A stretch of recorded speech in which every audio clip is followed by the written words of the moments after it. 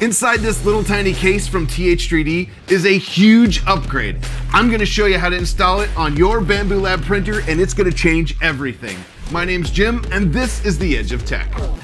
That's right, in this case is an LED kit that is ready to go for your Bambu Lab printers. It'll work on the X1 and the P1 series. Everything is ready to go in this little tiny case. It comes with everything you need, no soldering required. It's all plug and play and is crazy simple to install. That's right, it is really gonna brighten your day. that one was for Brian Vines. I don't, I don't know. I don't know what happened there. But it is really gonna make this thing shine, if you know what I'm saying. there are people out there probably wondering why the heck I would do this. And the answer is because the stock light that comes on our X1 and our P1 series isn't really that bright. I'll show you later in the video a comparison between the two, but I already put this on a couple printers and it makes a world of a difference. And today I wanted to show you what kind of difference it makes and how to install it. So let's go. So I'm here with Neo, and this is the very first X1 Carbon that I ever had. It's time to make this thing shine, quite, quite literally actually. The first thing you need to do is make sure your printer is turned off, and I like to pull the power out just to be safe. You don't want any shocking arcs or any of that stuff going on when we're playing with the wiring. It's just one cable that we're gonna be pulling out and putting back in, but let's be safe about it. Now what we need to do is take our AMS off the top. If you have room on this side of your printer, you can actually just set your AMS right down carefully like this right here. Make sure you're not stretching your Bowden tube or the cables, but it will set down next to the printer if you do it right and kind of angle the back towards the printer. Then we wanna take our top glass off, so I'm gonna take that off and set it behind me. And once we get this far, we're ready to jump into the install. Now grab yourself some isopropyl alcohol. I prefer uh, 90 to 99% if you can, and a microfiber cloth if you have one. If you don't, uh, paper towels will work, just be careful not to leave a bunch of fibers behind. A microfiber is better for this, but you gotta use what you have, and if you have a paper towel, go for it. I'm not gonna judge you. Pop that front door open like this, and then we're gonna spray the alcohol on our microfiber towel. And then we're gonna wipe the inside of the printer where we're going to stick down the new LEDs. That's gonna be on the side back here. We're gonna pull the whole head forward. I like to kind of push it all the way forward if you can do that. And then we're gonna go underneath this back lip under here. And then on the side, we're gonna go underneath uh, underneath this back lip, all in here. Once you have it all wiped down and dried, then we need to come to the side behind the screen. If you're looking at the printer, it'll be your left side. On the inside, there's a little electronics door that kind of flaps right open, and we're gonna pull that open at this time. Once you pull it open, inside you're gonna see a bunch of wires, but we're gonna look for the one that only has two, and mine are black and red. It's the one that is kind of right here. Once you see that, if it has any hot glue, you can pull it off. And at this time, you can actually disconnect that wire. Now it's time to grab our kit from TH3D. And this one is for the X1 series, as you can see right there. Inside the kit, we get our uh, strip lights here, which are right there. We get four cable clips, just like that, and a nice little case if you want to put your business cards in there when you're done. Each of the LED strips on these do have uh, 3M adhesive here. Each of the three LED strips that you get in this set have 3M adhesive. That's gonna help this stick really nice to our printer. And like I said, we get four clips to help us cable manage as well. So let's get this installed. Now we wanna take our uh, strips and find the end, just like that. And this little end on our LED strips is gonna plug into where we unplugged the other lights and it should really only go in there one way. But just be careful. You don't want to shove it in uh, backwards or anything. You don't want to wreck that uh, part on the board. But it should go in there just like that. Pretty much one way. And then we are going to hold this wire and we're going to close that door around it so that the wire comes out of the back out this way so you now you now you're left with the wire here. From here, we just need to situate our LED lights. So I'm gonna put mine somewhere in this area right here. Um, probably about right there. And you can you can put the wire underneath here to kind of hold it. And then I think I'm gonna go about right there. So flip it over. You already cleaned the plastic up. I want to peel off that protective coating on the 3M tape like that, and that'll expose the tape. Then I'm gonna kind of position it to where, where I wanted it. I like mine nice and straight. We're gonna go right, about right there. And just press down on your LEDs. Not too hard, don't crush them, but it shouldn't hurt them to make sure it's nice and solid right there.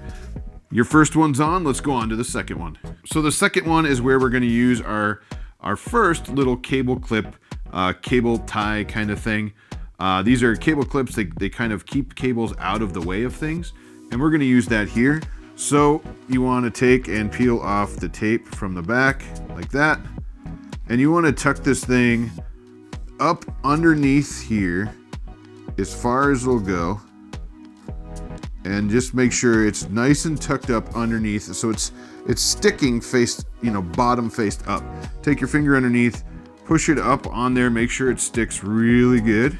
And then we're to bring our wire around like this. I got it I definitely got a little close. It's okay to make mistakes. So I'm just to pull it down. I'm to move it over just a little bit to like right there. Um, hold your wires with your thumb over here and then push with your finger and they'll go in. There we go. So now once they're secured in there, they're not gonna get hit by your cable chain. And we're gonna go on top of this uh, like Bowden coupler tube right there. And we're gonna go right on top, just like that. And this is where we're gonna start placing our second LED. For our second LED, we are going to place it up underneath of this lip right here. So this is the back of the LED. We're gonna go right up under here like this. And you wanna make sure that it's not too close to the corner, not way in the corner like that. I like to keep it out just a little bit. Um, so the end of the LED is about right here and right there. And I'll show this in a little while, but I think that's a really good place for it right up in there. I'm gonna pull the back off like we did before and peel that. And then I'm actually gonna stick it up as you can see about right here. Hopefully the camera's getting a good shot of that. I want it as close to this outer edge here as I can get. I don't want it way up in there. I, I like it way up close to this edge right in here. That way it uh, will shine out a little bit more. So I'm gonna push that in and make sure it's nice and tight up underneath there. I'm gonna make sure this cable out over here that came out is tucked up like this. That way it's out of the way and it's nicely tucked up in there. This cable will come in like this. Uh, this cable chain here will come in, but it doesn't sit way back in there like that. It's not gonna hit that cable, so you should be okay. Uh, but if it droops down a little bit, just make sure it's up and out of the way. This cable clip does a really good job there. Um, I think I'm gonna suggest to TH3D that they toss maybe a couple extra cable clips in here uh, for us to do this because I really would like to see another one right up in here, probably underneath here. For our third LED, we're gonna put it right up along the right side of the printer right here. This is where the second one is, so I turned the printer this way. So this is where the second one is right over here. And I'm gonna put my third one right up underneath this lip. So I'm gonna peel the back off the third LED I'm going to place it where I think I'm gonna want it, which is against this outer edge again, about right there. So it's right under here.